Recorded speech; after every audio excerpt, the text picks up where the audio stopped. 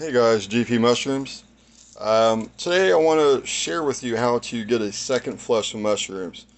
Like um, normally it'll just grow on its own, but then sometimes you get that one block that's just a little too stubborn.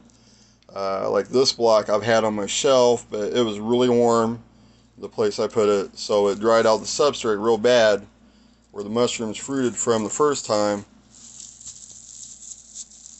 And as you can see, but all I did was I ripped that, that substrate off right here where the mushrooms did fruit and I did harvest my mushrooms.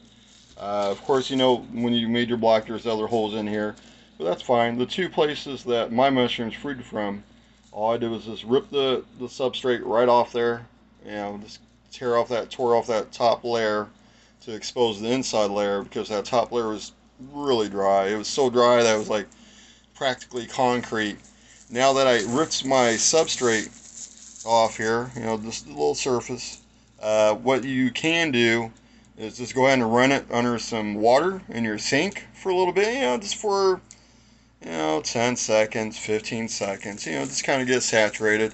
And the water will get behind the plastic. That's okay, that's fine. You know, it never hurts to kind of rehydrate your block anyways. About the third flush is about the time you want to start rehydrating your blocks anyways.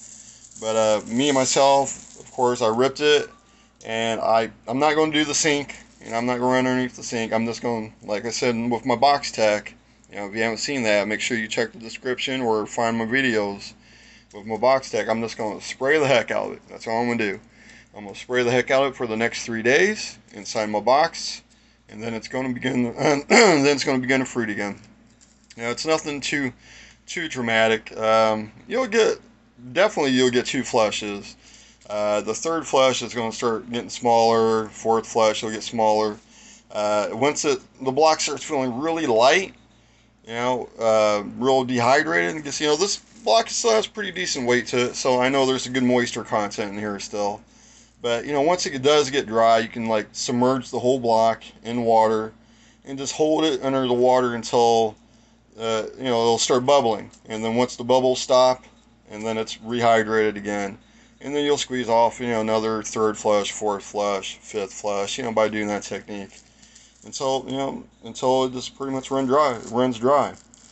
But that's how you get your second flush, at least with the stubborn block. Uh, I don't know what that is. It's some kind of surface contamination or uh, maybe uh, some sort of contamination, but it's not going to affect my mushrooms any. You know, it's not going as long as your mushrooms grow and there's not it's not covered in contamination like molds or anything like that, you're fine. Uh, but all right, mush on, guys. I wish you luck.